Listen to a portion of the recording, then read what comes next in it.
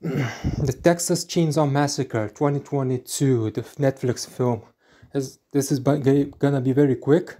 Anyway, anyway, I saw it. Uh, it's the newest film, the ninth one in the franchise. The original is awesome. The few, some of the sequels, uh, remakes, whatever, are pretty good. So this another continuity. There's so much sequels, prequels, and retcons. This this is this franchise is. Uh, very massive. Not even bigger mess than Halloween films, anyway. How this movie stands on its own? Well, it's very gory. I think it's the goriest film the franchise. It's, the kills are pretty good. Uh, lots of blood, gore. That stuff is cool. Uh, the rest of the movie is pretty bad. Uh, the performances, the cliches, all that stuff, the millennial stuff is just stupid.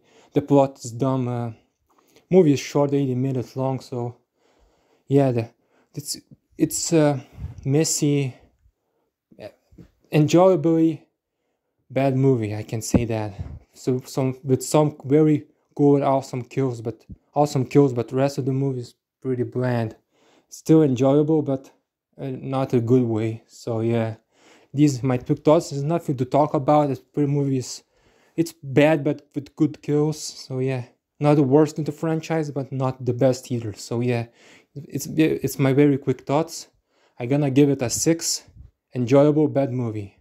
So what do you think? Thanks for watching. Bye